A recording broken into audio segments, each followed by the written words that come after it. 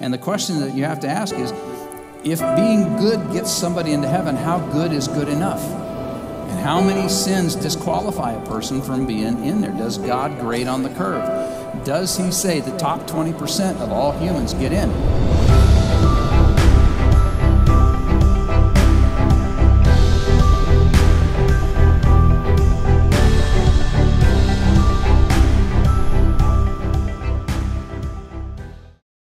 Big word you saw on the screen when you came in is hamartiology. H A M A R T I O L O G Y. It's the study of sin. Now, what we're hoping to do in this overview of theology is provide a big picture of God's story. History is His story. So, what is the first three words of the, of the King James Bible? In the beginning, that's God. God. Starts with God.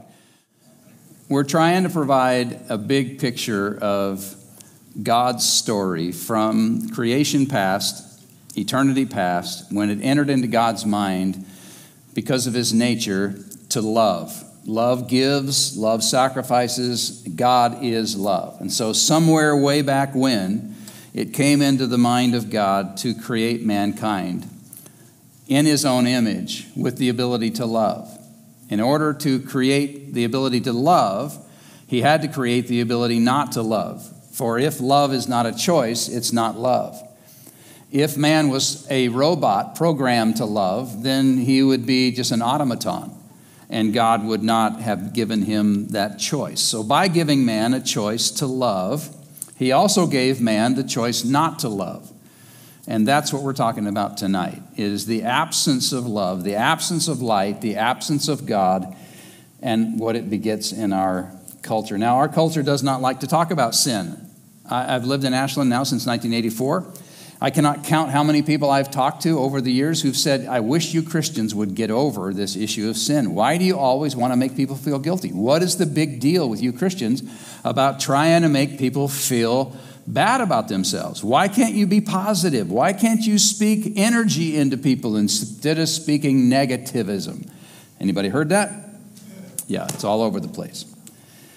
Um, for one thing, um, sin, like death, is an unpleasant subject. People don't like to talk about it.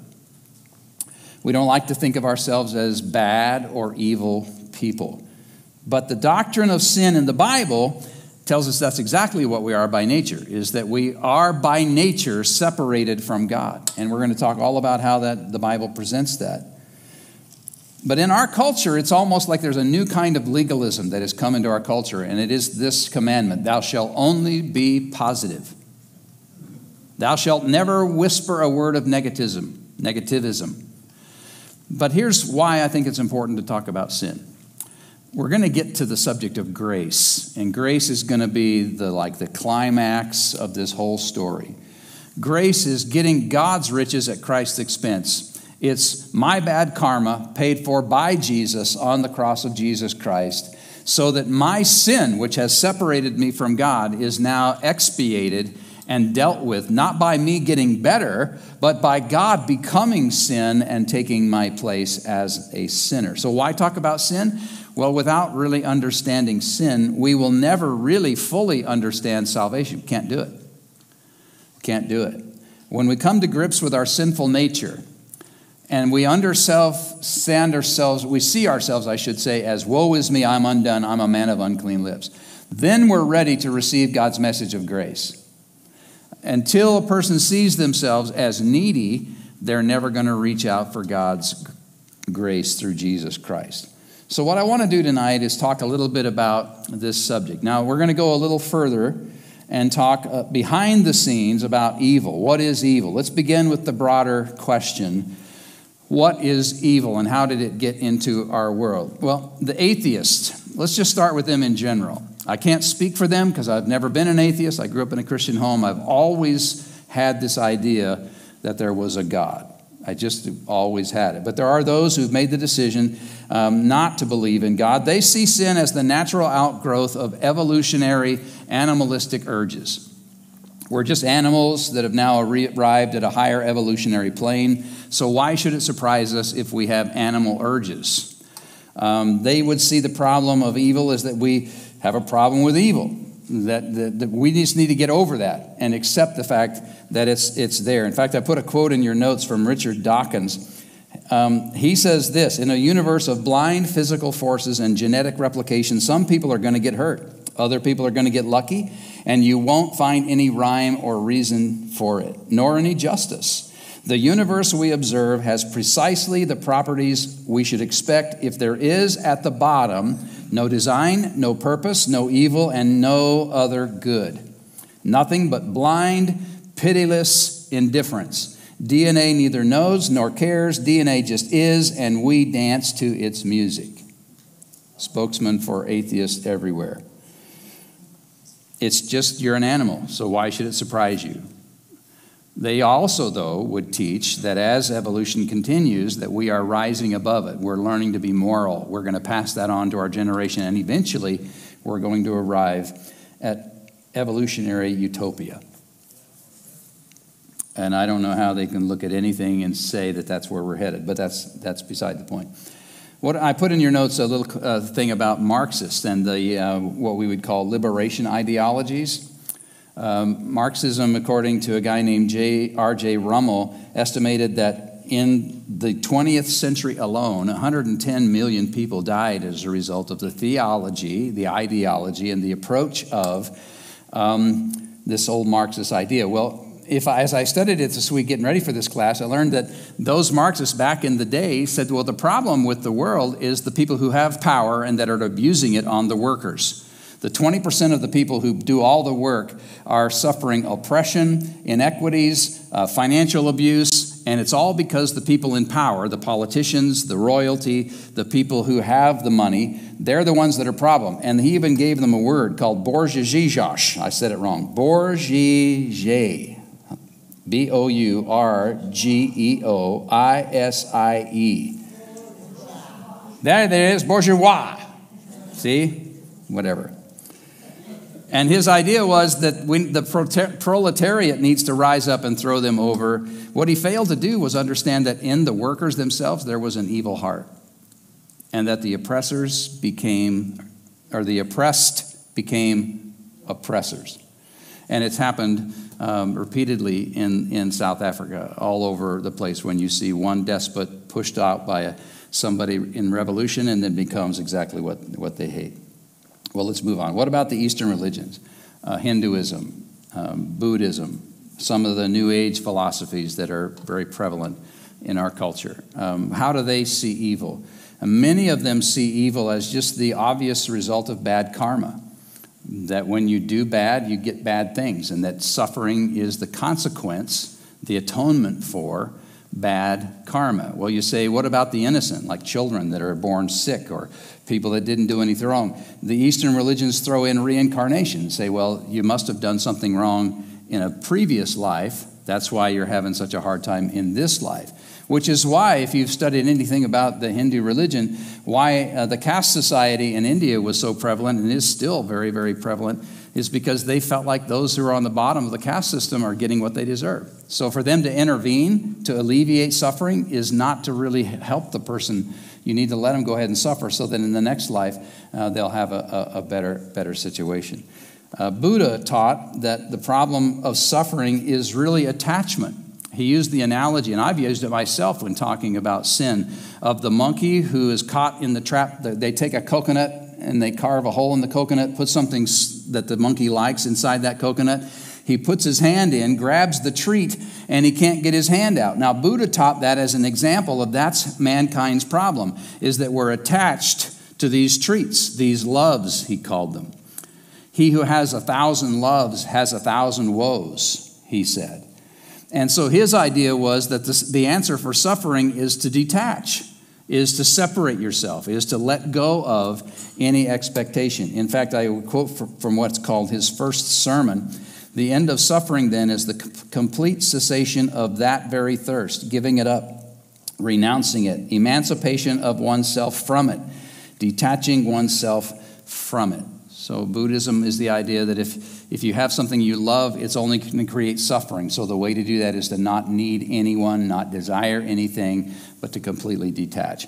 What I love about the gospel is it's quite the opposite, and that uh, the whole idea is love. It's about love, and it's about receiving and giving love and, and experiencing the best that God has. And so um, they look at life a little different than we do. What about the evangelical Bible believer? How do we see evil? Well, it's an answer very, very easily. It's evil is the consequence of sin, not karma, but sin. Um, I, think all a person has to do is uh, take a preschool, take two kids or three kids, put one toy in the middle, and watch what happens. It's just the nature of man is to fight, to grab, to take, to keep, to, to reach, to acquire. Um, J.I. Packer says the root of sin is pride and enmity against God. It's the spirit that was first seen in Adam's first transgression. Sinful acts have always been behind them, and the motives and desires that one way or another express the willful opposition of the fallen heart to God's claims on our lives. I think Packer's right. That the problem with the world, the problem with me, uh, is sin. J.K. Chesterton answered a paper in, in Britain. The question that people were to write in is what's wrong with the world? J.k chesterton wrote a, a, word a letter back and he simply said i'll tell you what's wrong with the world. I am. And he signed his name. I am.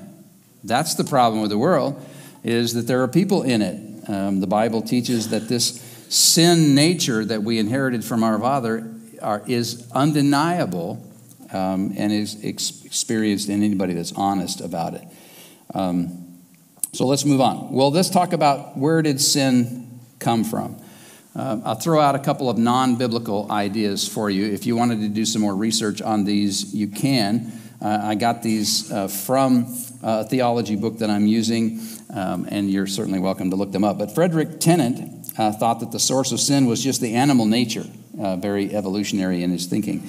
He believed that evolution is just carrying the human race ultimately towards this utopian that I spoke of when I talked about that section. A guy named Reinhold Niebuhr said that sin is the result of man's tension between his aspirations, what he desires, and his inability to achieve those aspirations, so men are frustrated. They want something, can't get it. Their inability causes them to, to lash out in selfish acts.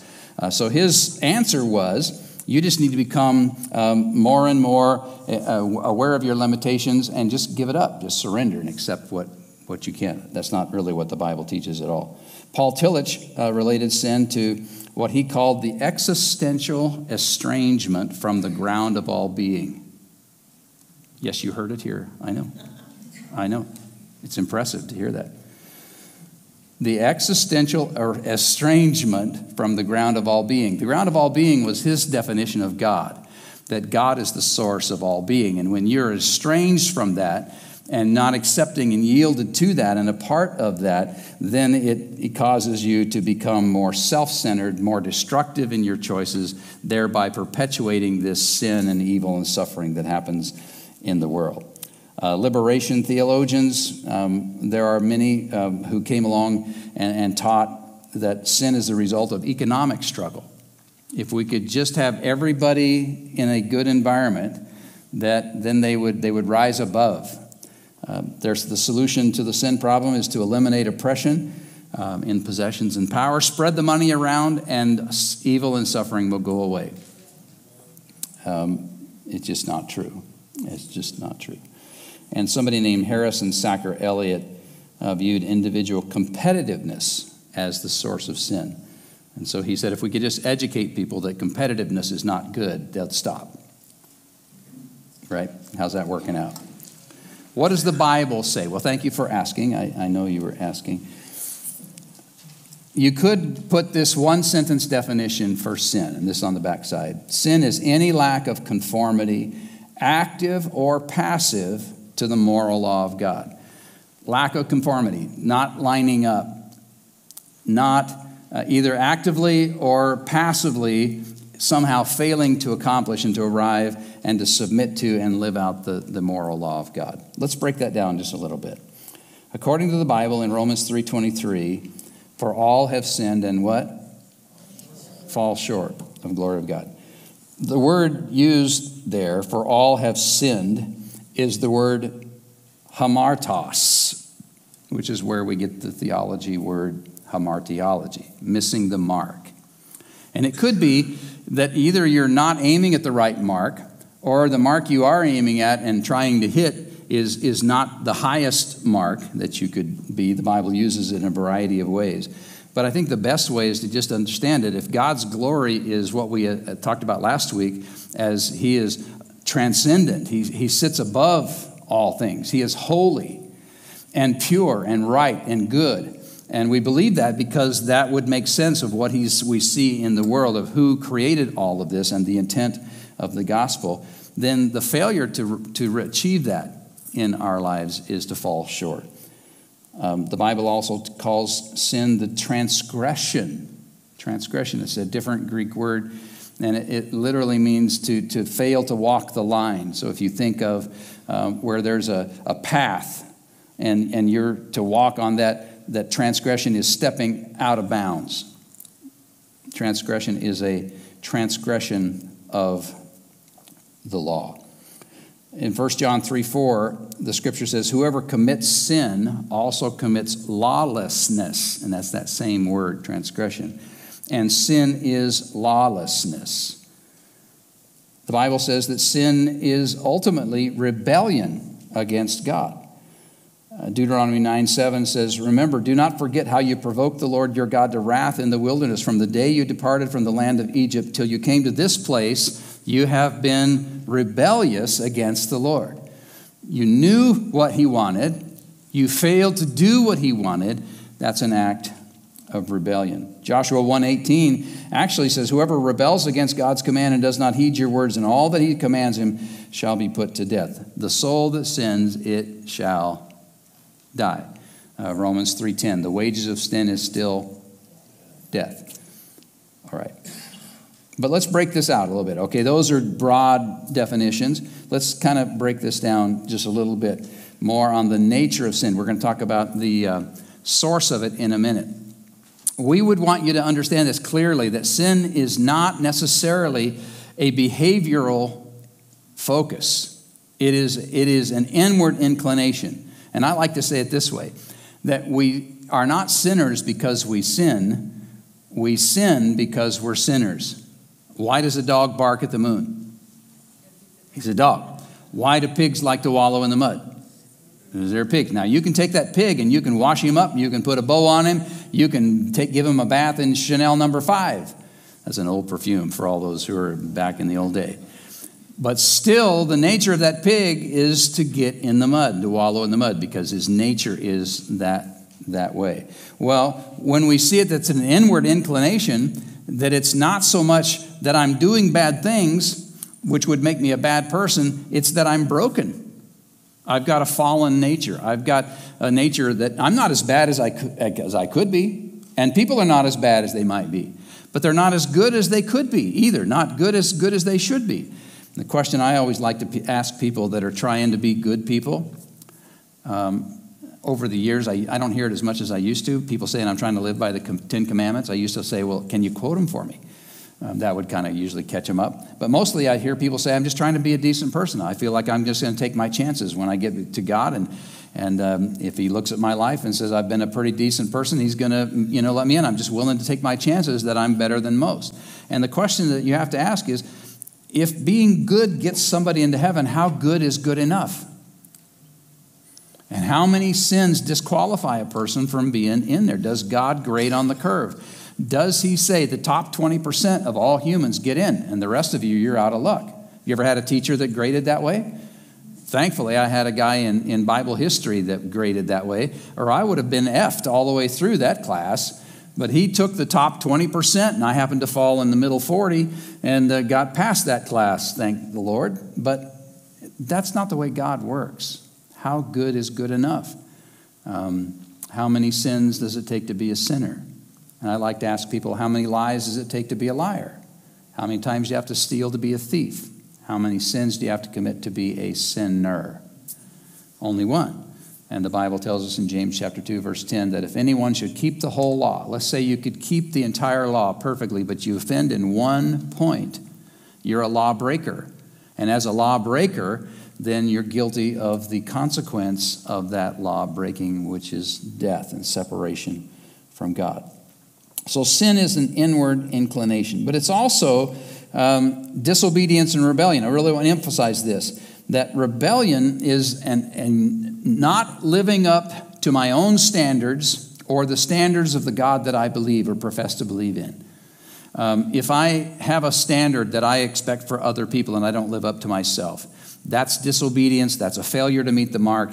If I know that the standard is elevated above me and I choose to say, I don't like that, I don't want to do that. The speed limit is 55, I'm driving, driving 60. Why?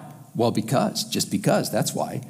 Because you told me to drive 55, I'm going to drive 60. You tell me to sit down, I'm going to want to stand up. Anybody else like that in the room? You tell me that it says wet paint, do not touch, I'll tell you exactly what I'm going to do.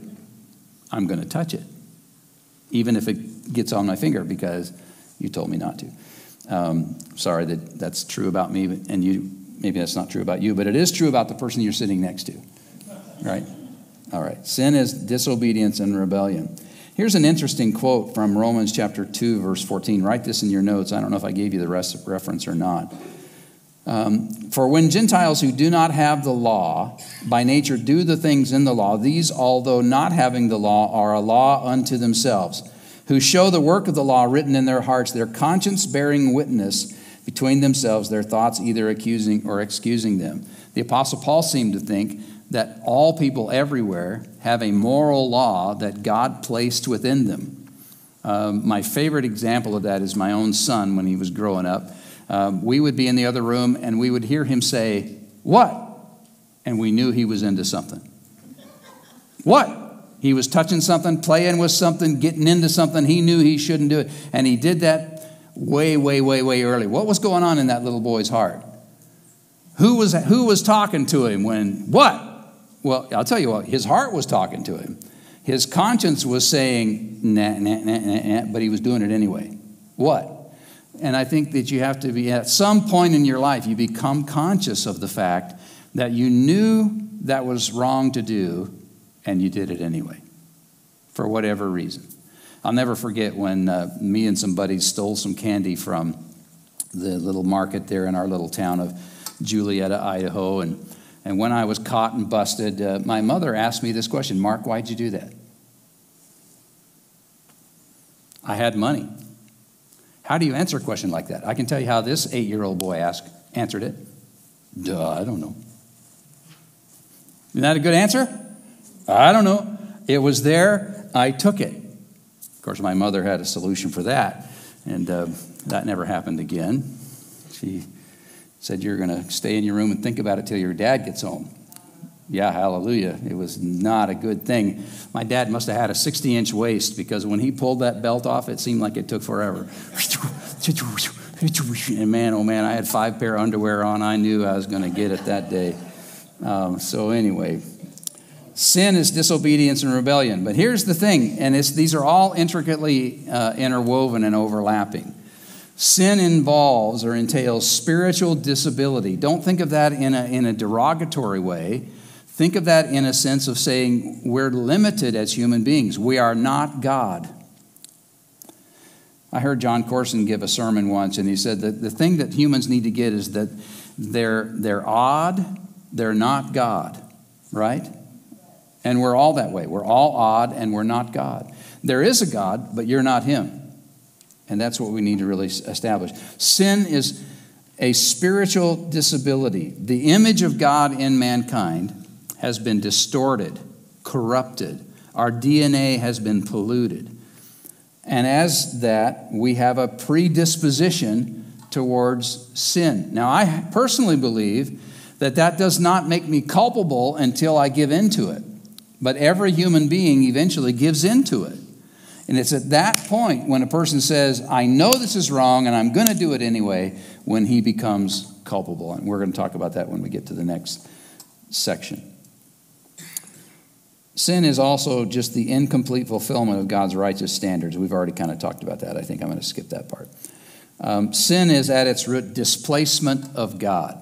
When we read the Genesis account here in a minute, uh, we'll see it very clearly that the big temptation for Eve and for Adam too was to move aside and become their own gods and make their own decisions and arrive at their own uh, ultimate stage of rebellion.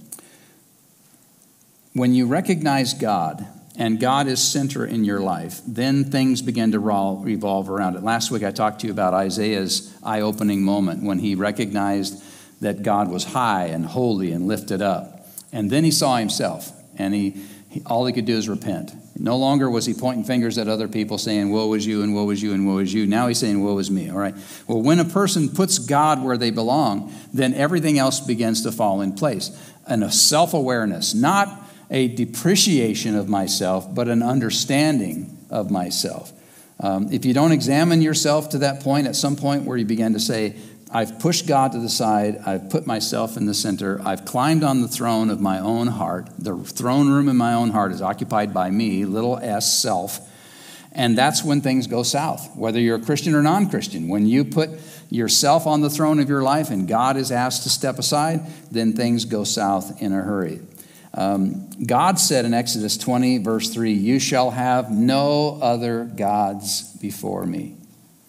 When they asked Jesus what was the greatest commandment, what did he say?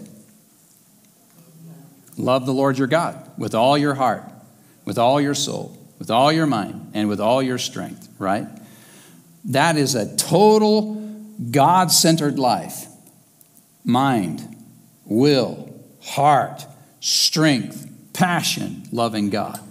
Well, when that's not the case, then we're in that self directed independent, rebellious condition. Let's uh, go to this. Where, where did sin come from? Uh, we'll talk a whole lot about this when we get into the actual uh, series on hamartiology uh, later. But for now, because this is an overview, let me just make sure that I make this very clear. And I hope you can just maybe not take this by faith, but understand that the Bible does teach this very clearly that God cannot be the originator or the author of sin. You say, well, if God put Adam and Eve in the garden with the capacity to sin and he knew that they were going to sin because of his foreknowledge, then wasn't it something that God anticipated and allowed for and prepared for? And the answer is yes, he did, obviously. But did he create sin? Well, I would say no. The Bible says no. And here's the verse for it James chapter 1, verse 13. Let no man say when he is tempted, I'm tempted by God. For God cannot be tempted by evil, nor does he himself tempt any man. God made rocks. If man uses those rocks to throw at other men, is God the author of sin because he made the rock? No. If God gave a man and a woman a moral ability to choose good and thereby choose evil, and they chose evil, is God the originator of that sinful choice that they made? We would say, as evangelical Christians, no, they're not. There are those in the more Calvinistic uh, camp who would say, God, and there's a verse in, in Isaiah that they quote that God says, I create both the good and the evil. And it is in there, and you can look it up. And they would say, well, that says that God wanted evil. He made the devil so that the devil would tempt Eve and etc. And I just say there's a theological word for that, and it's I just don't believe it. I just don't, just don't believe it. We're going to go way deeper into that subject later. And I have some strong opinions about it. You, didn't notice that, did you? Um, but we would say um, there is some truth in the fact that sin in God's created universe began in the heavenly realm with Lucifer. When you read the account in Genesis 3, and you see the fact that this creature, this snake, this serpent, who beguiled Eve into eating the fruit, we understand that, that he is a demonic spirit known as Lucifer. And so sin originated in the angelic world. Let me write, give you some scriptures. John 8 44 1 John 3 8 and 1 Timothy 3 6 and Jude 6. These all have references to fallen angels. Um, God created a host of angels, and at some point, before he created the cosmos and put the Garden of Eden where he put it, at some point, those legions of angels, a third of them fell away from God and rebelled. In John 8, my greatest theologian is Jesus, and Jesus said in John 8 44, he said, He spoke of the devil as a murderer from the beginning. And when he said the beginning, he used the phrase kat arches in the Greek. Kat arches, according to most theologians, is before creation, in the very beginning when creation happened. So, who was the murderer from the beginning? Jesus said Satan was. He was the murderer from the very beginning, uh, which means that he was around before creation was around. In 1 John 3 8, John, who learned from Jesus, uh, said that he, the devil, sins from the beginning. Most people believe, most theologians, theologians, that Satan's sin resulted from his pride. And they quote a reference in Isaiah, we'll talk more about this later too, where he says, I'm going to be like the Most High. And he, he wants to achieve, because of his beauty, this uh, ascendance above God himself. They weren't satisfied to keep their own abode where God had placed them but they had a desire for, for more, which led them to rebel against God. For mankind, sin originated in the garden with Adam and Eve. Now, regardless of what you think about whether Adam and Eve were literal people or whether they were symbolic people or whether they were, you know, uh, everything was made in six days, that's not the point of the Bible. The point of the Bible is that when sin came into the world, it came in as a deliberate choice of a creature God had placed in there with the capacity not to sin, and he had the capacity to sin. So get, grab your Bible, let's read about it in Genesis 3. Genesis chapter 3. This is a long section of scripture, but I want to read it all so that you see the whole story. Genesis 3, verse 1 says, Now the serpent was more cunning than any beast of the field which the Lord God had made. And he said to the woman, Has God indeed said, You shall not eat of every tree of the garden? So he's putting a question mark on what God said already.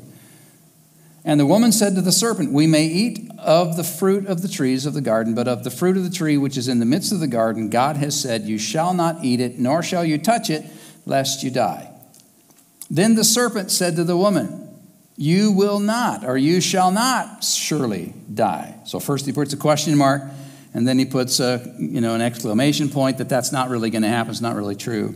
And then he says in verse 5 For God knows that in the day you eat of it, your eyes will be opened and you will be like God, knowing good and evil. And this is critical right here, verse 6. So, when the woman saw that the tree was good for food, she saw with her eyes, good for food, pleasant to the eyes, and a tree desirable to make one wise, she took of its fruit and ate. She also gave to her husband two key words with her. He, he wasn't absent somewhere else, you know. Uh, he, was with her when this whole thing went down. He could have stopped her, he could have helped her, but he, he didn't. He was complicit with it. He willfully and deliberately ate. Verse 7 says Then the eyes of them both were opened, and they knew that they were naked. They sewed fig leaves together and made themselves coverings. They heard the sound of the Lord God walking in the garden in the cool of the day, and Adam and his wife hid themselves from the presence of the Lord God among the trees of the garden. And then the Lord God called to Adam and said to him, Where are you?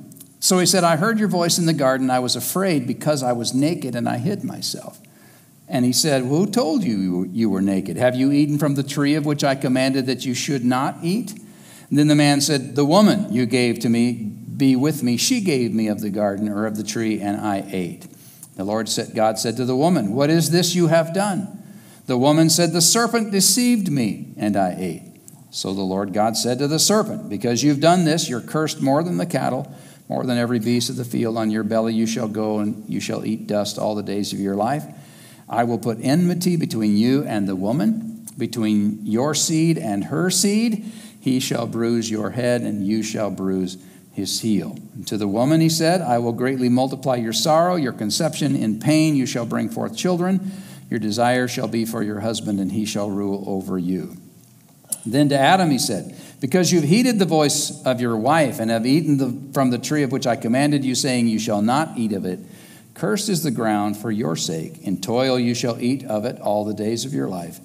Both thorns and thistles it shall bring forth for you, and you shall eat the herb, herb of the field. In the sweat of your face you shall eat bread until you return to the ground, for out of it you were taken. For dust you are, and to dust you shall return. That's where sin started, in the garden. Uh, when Eve was deceived by Satan, he used three things. He used the lust of the flesh, something that she craved, something that she could see, the lust of the eyes, and the pride of life, which we're going to get to later. It's kind of the way the devil still works uh, in, in many, uh, most situations. Take your Bible now and go with me to Romans 5:12. This is a key re- reference in your New Testament. I want you to see this.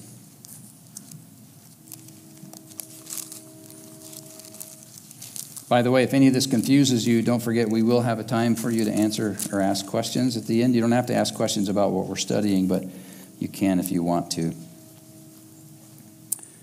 Romans 5 and verse 12.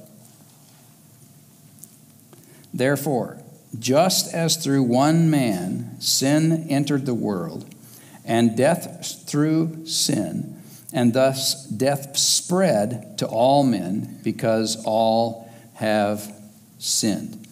Sin entered mankind through the disobedience of Adam. That disobedient nature, that broken, fallen nature, was then passed into his children and into his children and into his children.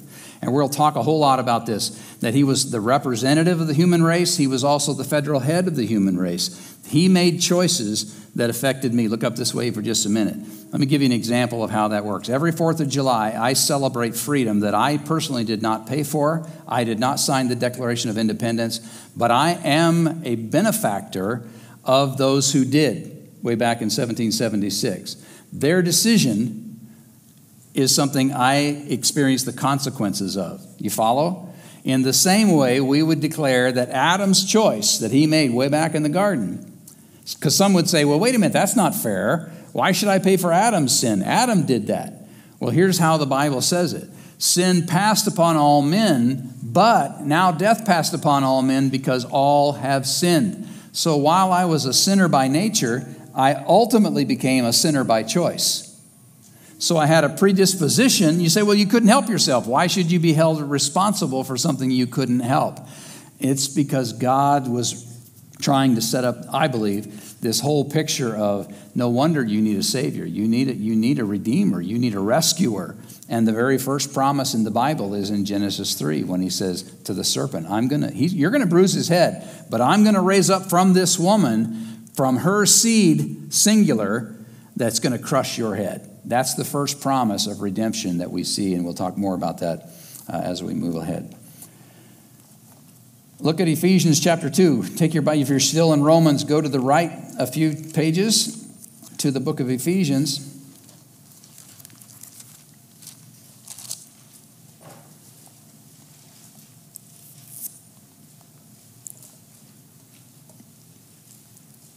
and I've got it up on the screen too, not all of it, but most of it here. It says, And you he made alive, Ephesians chapter 2, verse 1.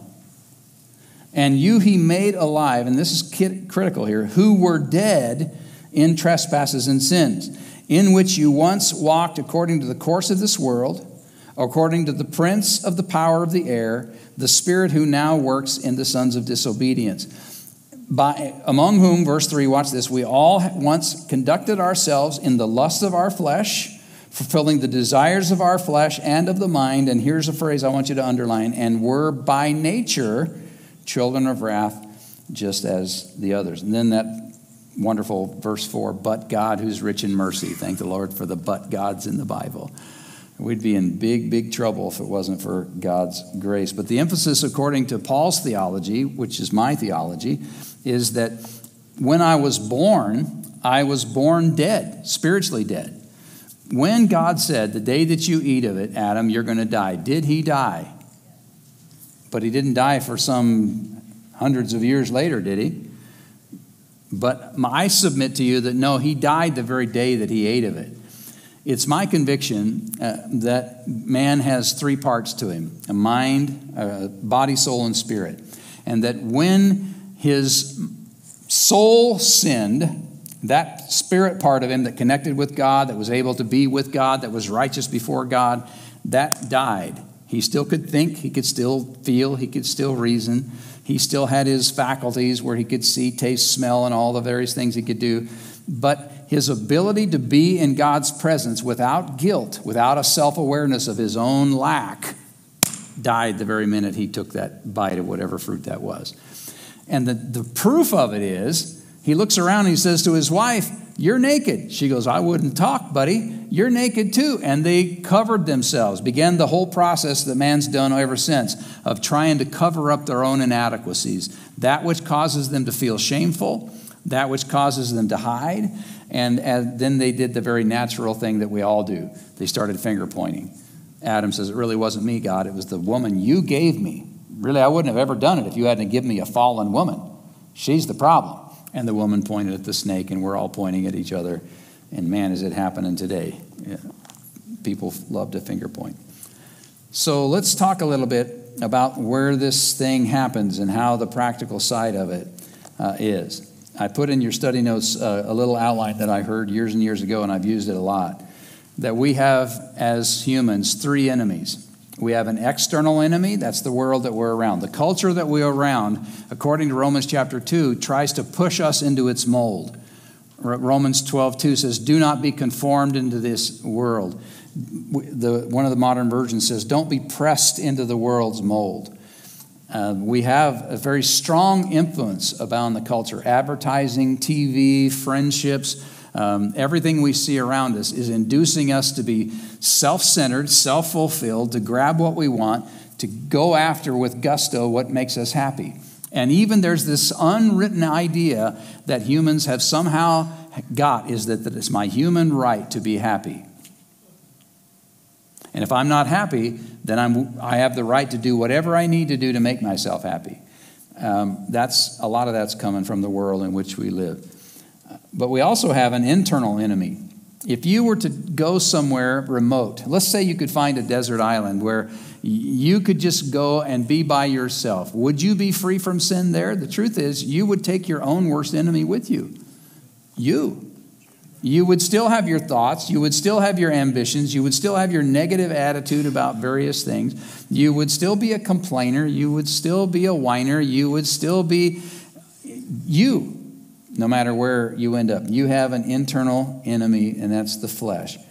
But we also have an infernal enemy, and, and I believe in a literal devil. Uh, got to lead a, a, um, an attorney and his wife to the Lord. And the reason they came to faith, both of them were agnostics, but they were prosecuting attorneys in Arizona. And they worked together in the same office, and they began to deal with people that were evil, pure evil. Pure evil. And both of them said, that not together but separately, they came to the awareness that if there's pure evil, which they had been across the table from and seen eye to eye, if there is pure evil, is there pure good? And they both went to an Episcopal church, tried to find some answers that came here. God opened their hearts, and it's really kind of wonderful how the whole thing came about.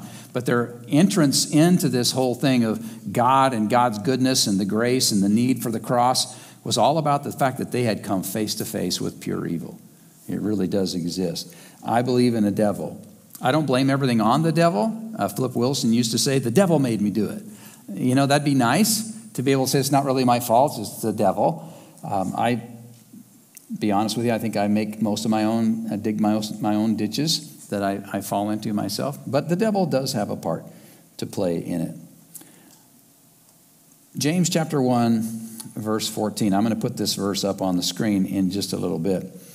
But what I want you to see is that when James said, When man's tempted, don't say, I'm tempted by God. God can't be tempted by sin, nor does he himself tempt anyone. All right? God does not tempt. Then James goes on in James 1:14 to say this, for every man is drawn away by his own desires and enticed. And then when desire has conceived, it gives birth to sin. And sin, when it's full grown, gives birth to death or leads to death. So there's a progress. And God says that the progress begins with a desire. Now, desires are not necessarily bad things. God put the desire for man to eat food. If man didn't satisfy that desire, he would die. But can that desire be corrupted and distorted? Evidence A. Exhibit A. Um, God gave the desire for, for men and women to procreate, to have sex. If they had not followed that desire, the human race would die out. It's a God given desire. Can that desire be distorted? Look at the world in which we live. The answer is obvious. So, having the desire is not a bad thing. Um, I found a quote that I really liked from uh, Millard um, in Millard Erickson in his book Introducing Christian Doctrine. It says humans have the capacity, unlike animals, to choose alternatives, including alternatives which are not immediately present. Humans can thus transcend their location. Let me give you an example. He gives an example. He says they can envision themselves occupying a different position in society or married to a different partner. Thus, we may desire not only what is actually available to us, but also what is not proper or legitimate. This capacity greatly expands the possibilities of sinful actions and or thoughts. So desire itself is not a problem. When Eve saw the food that it was desirous to, for food, it was good to eat, it was good to look upon. All right, that desire itself was not the sin. The desire gave in to sin, and that's when things began. So I think that's the lust of the flesh. To desire to enjoy things is not a bad thing. I think it's a God given hunger that we have to, to, to be content, to have fulfillment, to enjoy life. There's nothing wrong with that desire. Can it lead us to press after and chase after passions that are not good? Take us places that we don't, shouldn't belong, and, and, and really wonder somehow, how'd we ever get there? Well, it's because we gave in uh, to the distortion of the lust of the flesh. We have the desire to obtain things. That's a God given desire, too. God told man, Be fruitful and multiply and fill the earth. Obtaining things is not the problem. But letting those things become the source of our identity or our idol worship or where we go to when we're sad or mad or bored, that's your God, whatever that is. And if you go after things, it is really giving into the lust of the eyes. I want it, I'm going to pursue it. You have it, I want it. Jealousy, covetousness, all that stuff flow out of that, that lusting of the eyes.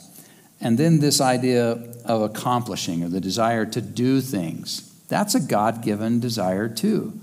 Um, we had a devotion this morning from Justin. He was saying, when you guys were young, did you envision yourself being, you know, something grand, like an NBA star or, or whatever? We, made a, we had a lot of laughs about Brett being a, a NFL lineman uh, in the idea of him being 600 pounds and all the rest. It was kind of fun to think about.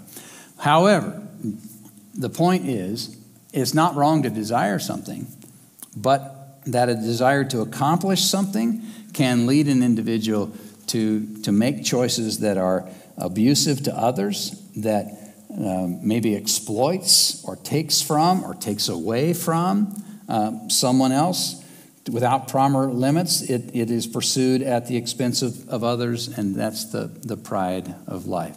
So, what is the answer to all of this? Well, that's what we're going to talk about next week. There is an answer. The, my Bible tells me that where sin abounds, grace abounds more. It's, it's um, one of my favorite subjects to talk about. And you have to always set it up with the idea that grace is only grace when you understand that it cannot be deserved, it cannot be earned, you cannot qualify for it other than saying, I'm a guilty, undeserving sinner. God, be merciful to me, a sinner.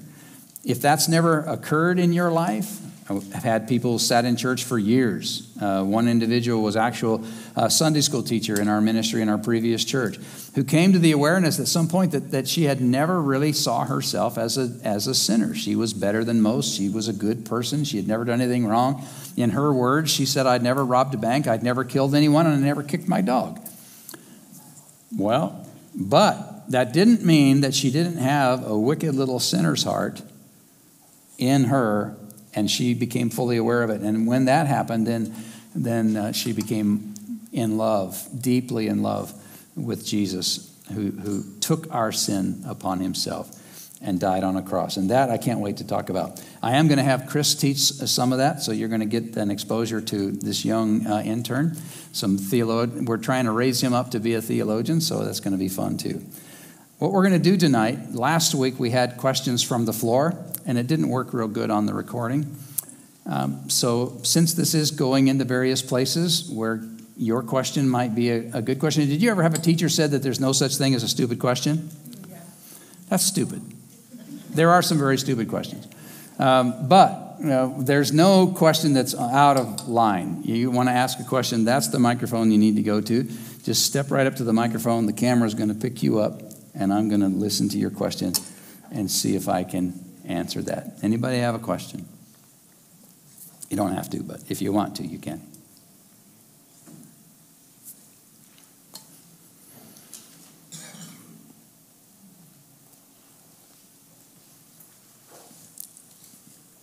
Brother Eric, is his mic on?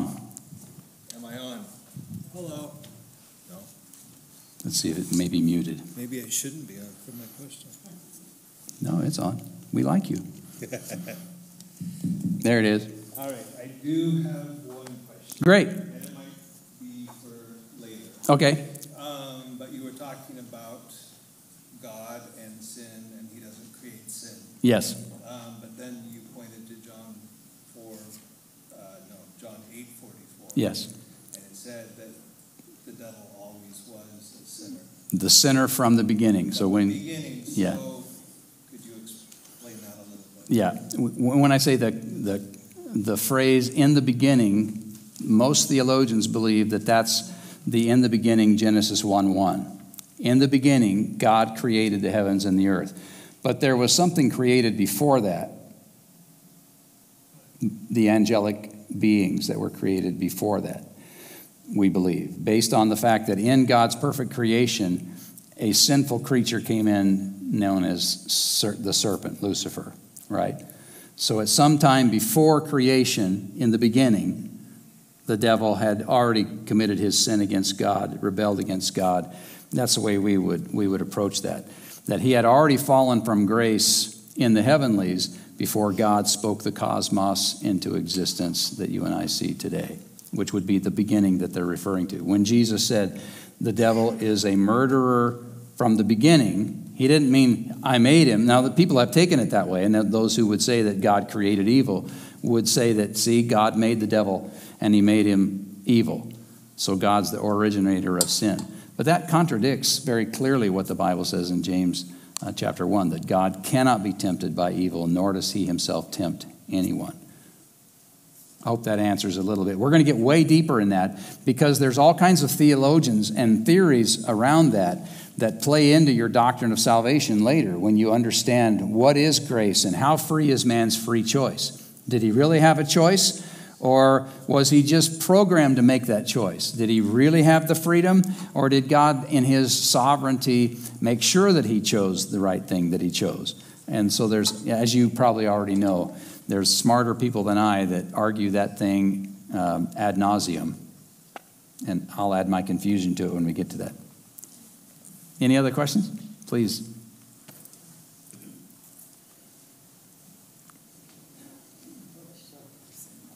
Yeah, I'll move it down for you. Yeah, that works. There you go. Thank you. You mentioned uh, Adam died uh, before his years put him mm-hmm. to death. And you said his soul died. Yeah, well, I meant to say his spirit died. Spirit died. Okay. Yeah. Could you just talk? Let me. Well, there, there are people who are dichotomists. They believe that man only has two natures: his soul and his body. I'm a trichotomist. I believe that when God said, let's make man in our image, that he is a triune being. He made men triune beings with a body. That part's obvious. I can see it. Then my soul is comprised of mind, will, and emotions. I have the ability to think, I have the ability to feel, and I have the ability to choose. All right? But I also have what Ephesians calls a spirit that you have he quickened who were dead in trespasses and sin. Well, what was dead? I could still think, I could still feel, I could still choose. I still had a body. Well, what was dead? I submit it was the spirit that was dead. And when Adam sinned, his soul remained alive, his body remained alive for a few more years, but it was already predetermined because of his rebellion that that too would die. Sin brought about death. But I think he died instantly, spiritually. There was a consequence between his relationship with God that was affected by his rebellion. So that's why I'm what they call a trichotomist body, soul, spirit. And the spirit died when Adam sinned. So when my kids are born and they look so innocent, you know, and you look at them, they're so cute. How could any how could anybody say that this little baby has a wicked little sinner's heart? Well, they, they they're cute. They have a cute body. At least my kids were cute. Some of yours are not so cute. But they also, when they got old enough, displayed the ability to make deliberate, selfish, sinful choices. So their spirit was was dead. They had all that. Did that answer your question a little bit? Okay. Yeah, I did catch myself when I said his soul died. I meant to say his spirit died. Thank you. Yeah, if you have questions, just make your way on up. I'll try to do my best to confuse you. Okay, so we know that Jesus defeated Satan at the cross. Yep. Why is Satan still ruling and reigning on the earth? That's a good question. That's a, that is a good question. I think he's a defeated foe. His days are numbered. Um, but the actual defeat was a spiritual defeat, that the power of sin was broken, the power of death was broken. Uh, when Jesus got up out of the grave, very, very literally, the scripture says he's got the keys of death and hell. And so I think that's where the defeat really accomplished. But um, what Satan thought was going to be his ultimate triumph in getting the Messiah on the cross ended up being his ultimate demise. Because in the death of Jesus, there was so much more there than, than the death of just one Jewish carpenter. There was the, the substitutionary death, he died as man. There was the federal headship, where he died for men. So he's not only taking my place as a substitute, but he's also, in the sense, dying, just as Adam made a, sin, a choice to bring sin into the world, and that passed on to people. Jesus' choice then passed on to those who would believe. And so that's where I think Satan is, is defeated. He's just like a lion um, that has no teeth. He roars, but he can't bite. Brother Steve. If um, the spirit is dead in um, those who don't, uh, who sin, so I still sin. Me too. Yet I have Jesus as my Savior. Is my spirit alive or is it dead? Well, I would say it's alive. Remember what Paul said in Romans chapter 6? Uh, what I want to do, I don't do. What I don't want to do, that I do. Then he says, What is it? But sin dwells in me. I have this nature that's part of me that is going to be with me until I croak. It's just the way it is. But I also have a new nature in me that I think is perfect. That new nature is the nature that Jesus resurrected when he brought salvation to my heart and to your heart. So that is where um, that conflict comes. I think we all feel it, where we have a desire to do good, but sin dwells in us. Paul would say it's no longer I that sins, but, but, or, but it's sin that dwells in me. And then I love the way he ends that chapter. Romans chapter 6 ends with this question Who shall deliver me from this body of death?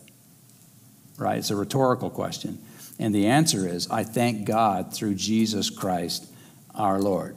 So I think salvation occurs when a person submits to Jesus. They're forgiven, but they still have that sin nature that God is beginning progressively through sanctification to change. You know, the sins I committed when I was a brand new Christian, I don't struggle with anymore, but God keeps peeling that onion lower and lower and lower. I still have more sin, and I find the more the longer I live, the, the more depraved I actually feel. But God is working that out. And one of these days, He's going to take me out of this sinful body, give me a brand new body that doesn't have sin in it. That's the day I'm looking forward to um, when we stand before the Lord. Hey, this has been good. Thank you guys for showing up tonight. Let's pray together. Um, Uh, if I can answer any more questions for you, uh, stick around if you'd like to. But I hope to see you uh, as we continue this overview of theology. Lord, we just